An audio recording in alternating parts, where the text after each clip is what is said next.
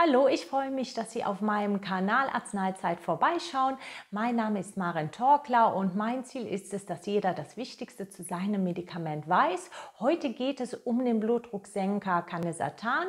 Wir befinden uns hier im Bereich Intensiv. Das bedeutet, ich gehe ganz genau auf alle Aspekte zu Ihrem Canesatan ein. Wenn Ihnen das ein wenig zu viel ist, dann schauen Sie sich doch gerne das Video Canesatan Basic an. Das finden Sie hier unten in der Infobox verlinkt und ansonsten erwartet Sie hier, weshalb Sie auf Kaliumpräparate, wenn möglich, verzichten sollten oder aber auch, was das Candesatan eventuell mit einer Niereninsuffizienz zu tun haben könnte. Und bei dem Video wünsche ich Ihnen nun viel Spaß. Ihr Candesatan, das findet unter anderem äh, Anwendung bei der Behandlung des Bluthochdrucks, auch ähm, bei Herzinsuffizienz äh, wird es angewandt mit einer äh, verringerten Auswurfleistung. Das bedeutet, dass ähm, Ihr Herz nicht so viel Blut auswirft, als es von der Größe eigentlich schaffen könnte. Bei der Indikation Herzinsuffizienz wird in der Regel erstmal ein ACE-Hämmer Anwendung finden, wie zum Beispiel das Ramipril. Wenn das aber nicht vertragen wird oder es zum Beispiel auch äh, zu Husten unter dem ACE-Hämmer kommt, dann äh, wird bei Herzinsuffizienz dann die Substanzklasse der Satane angewandt. In der Regel wird das Candesatan einmal täglich angewandt. Dabei ist es egal, ob Sie etwas gegessen haben oder nüchtern sind, ähm, weil die Aufnahme des Candesatans nicht von der Nahrung abhängig ist. Der blutdrucksenkende Effekt, der tritt so etwa nach zwei Stunden ein. Und wenn Sie nun neu mit dem Candesatan beginnen, dann dauert es in der Regel etwa so vier Wochen, bis der maximale blutdrucksenkende Effekt durch das Candesatan erreicht ist.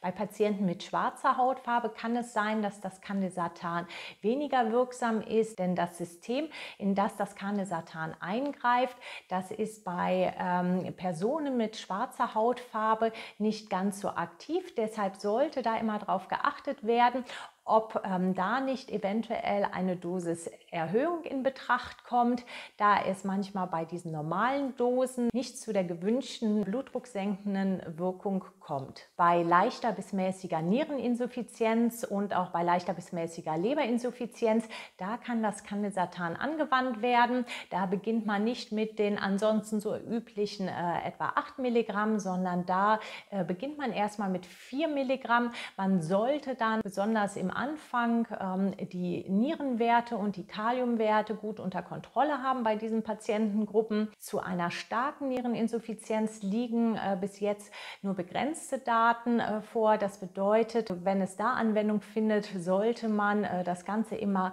sehr streng überwachen. Und bei äh, starker Leberinsuffizienz ist die Einnahme vom Candesatan kontraindiziert. Wenn das Candesatan bei einer Herzinsuffizienz angewandt wird, sollte man auch hier, wenn möglich, möglich erstmal mit den 4 Milligramm beginnen, also wirklich recht niedrig dosiert. Auch hier sollten die Nierenwerte und auch die Kaliumwerte immer gut kontrolliert werden, weil es sein kann, dass äh, unter einer Herzinsuffizienz die Nebenwirkungen von ähm, erhöhten Kaliumwerten und auch einer Verschlechterung äh, der Niere eventuell eher zum Tragen kommt, aber darauf werde ich später in den Nebenwirkungen eingehen. Bei dem Wirkstoff Canesatan sind so drei Vorteile gegenüber manch anderen Blutdrucksenkern zu nennen.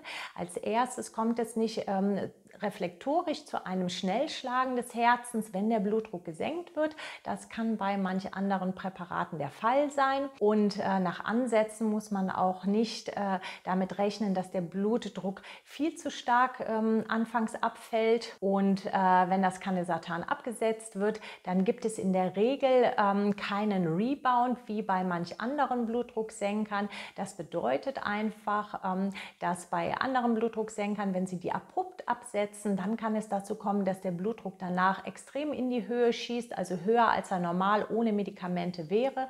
Beim Candesatan ist das äh, dann nicht der Fall. Für die, die es interessiert, gehe ich jetzt kurz auf die Wirkung des Candesatans im Körper ein. Wenn das den einen oder anderen nicht interessiert, dann klicken Sie doch gleich weiter zum Thema Nebenwirkung. Sie sehen in meinem Video eine Kapitelunterteilung, äh, sodass Sie die Möglichkeit haben, gleich in den nächsten Bereich zu springen. Das Candesatan, das gehört ja wie gesagt zu den sogenannten Satanen. Ähm, es gibt auch die Begriffe AT2-Antagonisten oder AT1-Rezeptor-Antagonisten. In ihrem Körper gibt es äh, ein System, was dafür zuständig ist, dass der Blutdruck immer gut reguliert wird. Das wird ähm, durch Gefäßwiderstandsänderungen gemacht und auch durch die Veränderung äh, der Elektrolyte im Blut. Und zwar nennt sich das das Renin-Angiotensin-Aldosteron-System. Dieses System hat das Ziel, Aldosteron auszuschütten. Aldosteron wird umgangssprachlich als Salzhormon bezeichnet. Ähm, das Canesatan, das greift in diesen Regelkreislauf ein. Ähm, normalerweise ist es so, dass äh, bei diesem Renin-Angiotensin-Aldosteron-System als erstes das Renin gebildet wird. Und das Renin, das führt dann dazu, dass äh, Angiotensin sozusagen gebildet wird. Und beim Angiotensin gibt es zwei Unterformen. Beim Canesatan achten wir jetzt nur auf die Unterform Angiotensin 2. Und ähm, damit das wirken kann, muss das an einen Rezeptor einfach so dran docken. Und ähm, dieser Rezeptor, der nennt sich dann wiederum AT1-Rezeptor.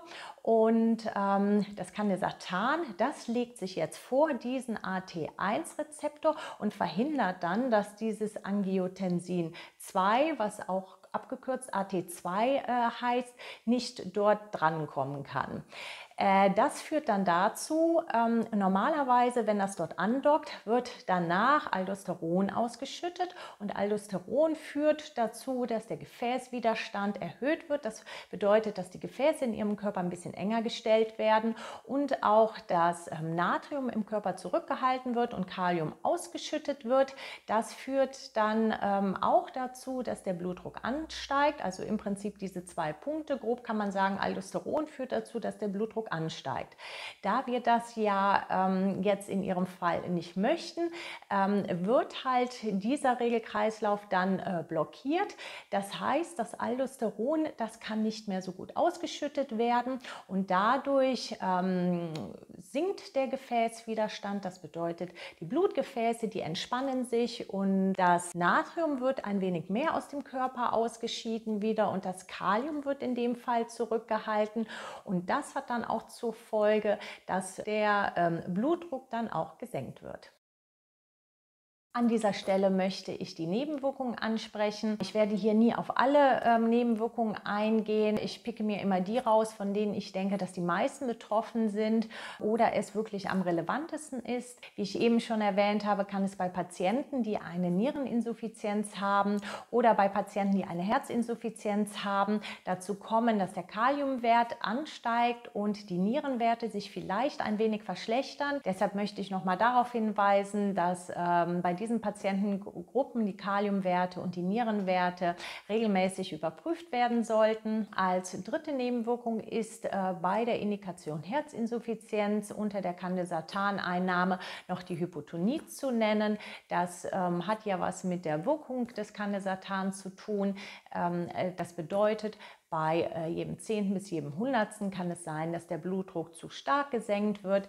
Vielleicht haben Sie selber ein Blutdruckmessgerät zu Hause und können das selber so überwachen. Ich empfehle da gerne, die Werte immer gut aufzuschreiben, damit Sie beim nächsten Arztbesuch dann äh, wirklich was äh, zeigen können. Anhand derer Werte sich der Arzt dann auch in seiner Therapie orientieren kann. Wenn Sie das Candesatan einnehmen, um einen Bluthochdruck zu behandeln, dann sind die Nebenwirkungen Nebenwirkungen eigentlich recht übersichtlich. Bei den meisten Nebenwirkungen äh, handelt es sich um die Angabe sehr selten. Sehr selten bedeutet, dass es höchstens einen von 10.000 Patienten betrifft.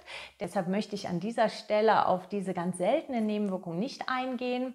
Ähm, dann gibt es ähm, außer diesen sehr seltenen Nebenwirkungen eigentlich nur drei Nebenwirkungen, die relevant wären und die ähm, betreffen so etwa ein bis zehn Prozent. Das bedeutet, je jeder Zehnte bis jeder Hundertste ähm, ist davon betroffen. Da wären als erstes Atemwegsinfektionen zu nennen und Schwindel und Kopfschmerzen. Äh, die Nebenwirkung Schwindel und Kopfschmerzen ist äh, eigentlich ganz typisch für Blutdrucksenker, weil diese Nebenwirkung äh, dann auftreten kann, wenn der Blutdruck gesenkt wird. Manchmal ist das auch erst am Anfang der Therapie so. Seien Sie da einfach ein bisschen sensibel drauf, wenn das Arzneimittel neu angesetzt wird oder in der Wirkstärke erhöht wird. Auch zum Bedienen von Maschinen und zum Autofahren, da liegen keine Studien vor, die irgendwie irgendwie belegen, dass man es äh, unter Candesatan nicht sollte. Achten Sie einfach drauf, wie Sie darauf reagieren. Es kann immer dann halt dazu kommen, dass es doch mal zu äh, Schwindel kommt, gerade im Anfang. Wenn Sie es aber gut vertragen, dann steht dem nichts entgegen. Unter der Candesataneinnahme kann äh, der Kaliumspiegel stark ansteigen, wenn Sie sogenannte kaliumsparende Diuretika, also Entwässerungsmittel nehmen. Ich blende die Ihnen hier mal ein, damit Sie mal einen Überblick haben, welche Entwässerungsmittel auch dazu tendieren, das Kalium im Körper zu behalten. Auch kaliumhaltige Salzersatzmittel, die sollten auch nicht genommen werden. Äh, bei manchen äh, Blutdruckpatienten wird empfohlen, statt des Natriumchlorids, also des normalen Kochsalz, ein Kaliumsalz zum Würzen zu nehmen. Das ist in Ihrem Fall nicht förderlich, weil Ihr Medikament eh dazu bestrebt ist, Kalium im Körper ein bisschen zurückzuhalten. Und wenn Sie dann so ein Ersatzmittel zum Salzen nehmen würden, dann kann es natürlich noch verstärkter dazu kommen, dass dieser Kaliumspiegel ansteigt. Auch andere Nahrungsergänzungsmittel, in denen Kalium irgendwie vorhanden ist, sollten Sie ähm, wirklich meiden, außer Ihr Arzt hat Ihnen das empfohlen, weil im Blutbild doch irgendwie ein Kaliummangel festgestellt wurde. Also alles, was mit Kalium zu tun hat, sollten Sie aufgrund dieser Nebenwirkung meiden. Die Wechselwirkungen, die ich gerade nenne, die stellen auch nur einen kleinen Auszug dar, obwohl ähm, ich mit dem, was ich Ihnen ähm, gerade näher bringe, auch schon das meiste abgedeckt haben werde, weil das ähm, Canesatan zum Glück nicht viele Wechselwirkungen eingeht. Patienten, die äh, Lithiumpräparate nehmen, die sollten immer engmaschig kontrolliert werden, weil die gleichzeitige Einnahme von Canesatan mit Lithium dazu führen kann, dass der Lithiumspiegel im Blut ansteigt und der sollte immer streng überwacht werden. Was für viele Patienten wichtig ist, dass sogenannte nicht steroidale Antirheumatika, dazu gehört zum Beispiel das Diclofenac oder das Ibuprofen oder das Naproxen, in diesem Fall auch das äh, ASS, ähm, also die Acetylsalicylsäure, aber erst ab einer Menge von drei Gramm pro Tag. Diese Substanzklassen, die können ganz allgemein dazu führen, dass das Canesatan in der blutdrucksenkenden äh, Wirkung nicht so gut ist.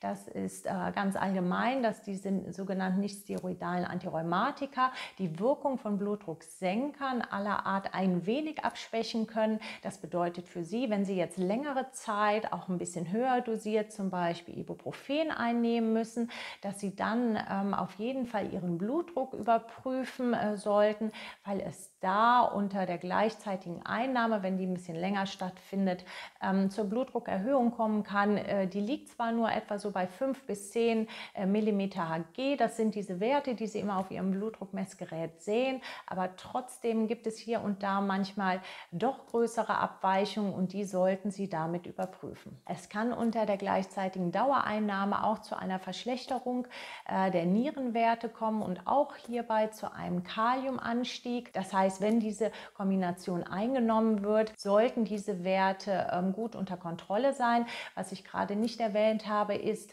dass auch sogenannte COX-2-Hämmer oder COXIBE, auch hier ähm, blende ich ein paar Beispiele ein, die können auch genauso dazu führen, dass das Candesatan nicht so gut wirksam ist und äh, die äh, Nierenwerte sich äh, schlimmstenfalls ein wenig verschlechtern könnten und auch das immer im Blick gehalten werden sollte. Wenn Sie nun das Candesatan einnehmen und zusätzlich einen der Wirkstoffe, die ich gerade besprochen habe, von diesen nicht steroidalen Antirheumatikern und wenn bei Ihnen jetzt auch äh, dazu kommt, dass Sie noch ein Diuretikum, also ein Entwässerungsmittel einnehmen, dann sollten die Nierenwerte unbedingt überprüft werden. Es gibt ähm, eine Wechselwirkung, die ähm, durch diese drei Substanzklassen, wenn die parallel eingenommen wird, hervorgerufen werden kann.